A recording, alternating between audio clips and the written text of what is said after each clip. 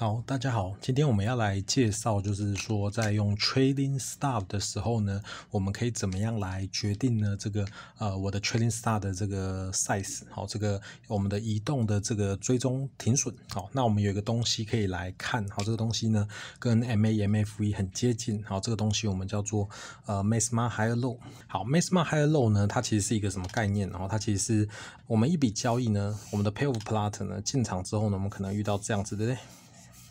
好 m a s m a High Low 呢，它就有点像是什么？它就有点像是我们一笔交易的 m a s m a 九档，所以就是有点像单笔的。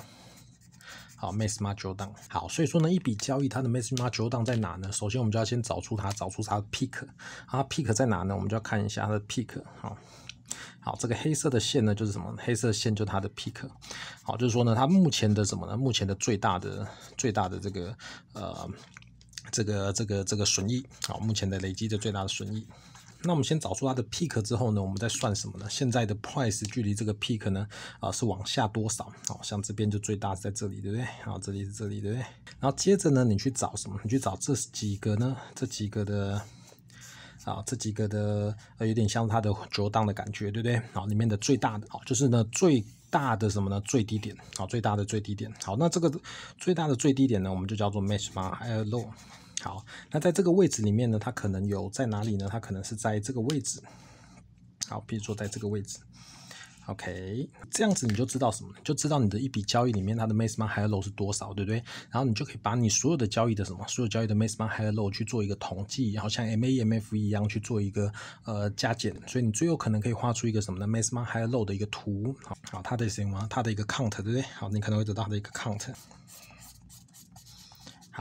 那得到一个 count 之后，你就知道什么事情，你就知道你的 maximum high low 呢是呃呃最高可能单笔交易的回撤呢，可能大部分是集中在多少以上？只要在这个以上的位置呢，你应该要选在什么？它 maximum high low 的右边的位置呢，切一个 size。那通常也会是 maximum high low 的 Q two 到 Q 三。好，同时通常 maximum high low 的 count plot 它会有一点呃往左边倒，然哦，它会有点像是这样子。OK，所以它的 Q2 跟 Q3 大概会是在这个位置。好，它的 Q2，好，找它的 Q2 跟 Q3 的位置呢，就可以决定什么呢？你的 Trading Stop 呢要放多少？好，所以我们现在来讨论什么叫做 Trading Stop。Trading Stop 呢，我们叫做移动，或者是追踪停损。好，移动的追踪停损。OK，也就是说，随着我的损益往上呢，我会想要去调整什么？调整我的停损的位置。假设是这样子。好，所以如果你的什么，你的停损是在这个位置，对不对？好，你可能随着价格呢超过一个 size 以上之后呢，你就会开始调整你的 star loss 哈，比如说往上、往上、往上，比如说超过一个点的时候呢，你就会开始固定什么呢？固定这样子的大小，对不对？然后开始什么呢？移动你的停损点，它有很多种啊，有阶段式的，然后也有一直不断式的哈。比如说，他说往上呢，你可能停损就会往上，然后当它往回撤的时候呢，你的停损点是固定的，然后当它在往上的时候呢，停损点会再往上移，啊，当它往下的时候呢，停损点是固定，所以你的停损点就会被一个。什么被往上去做一个调整？好，这个我们叫做 trading stop。那我们的 trading stop 呢，应该要用多少呢？好，trading stop 我们通常会建议是说，你要用 maximum high low。好，来做一个什么？来做一个计算。好，maximum high low 指的就是你的什么？你的进场之后呢，最高点往回的回撤的什么可能的位置，对不对？好，所以呢，就所有的交易里面呢，它的你可以做一个统计，对不对？好，你就可以算这个 size。算完这个 size 呢，你就可以取什么呢？你就可以取 maximum high low 的 Q two 呢，到 Q 三的位置呢，然后搭配你什么？搭配你原本的停损点，好去做一点讨论。好，譬如说你可以用什么呢？你可以用你的停损加上 maximum high low。OK，好，这当做什么？当做你的呃移动的这个 size，好，当做你的这个 size。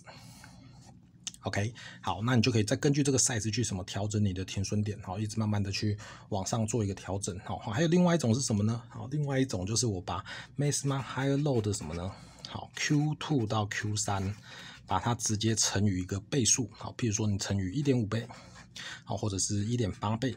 好，这都可以，好，没有一定的规定，好，所以这个时候呢，就是只要超过这样的 size 呢，你去做什么，你就去做一个呃对应的调整，好，对应的调整，好，所以你就可能就没有跟你的 star loss 做一个连接，好，这也是一种做法。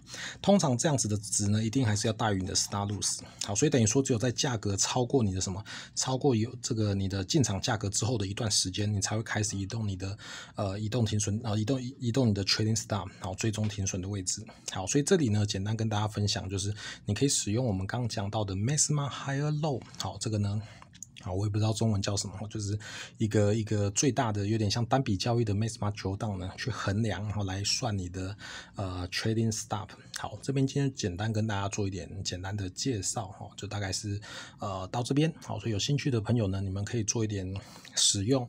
那关于 trading stop 的更多的细节呢，啊，未来我会再做呃一些更多的影片来讨论。好，这边只是先简单的跟大家介绍。好，那谢谢大家。Thank you.